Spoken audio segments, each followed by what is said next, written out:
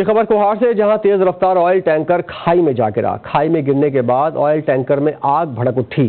कदीम रास्ते कोतल की पहाड़ी से पेट्रोल से भरा ट्रक निकलने वाले ऑयल टैंकर में आग लगने के बायस ड्राइवर जाबाग जबकि कंडक्टर मुजजाना तौर पर महफूज रहा।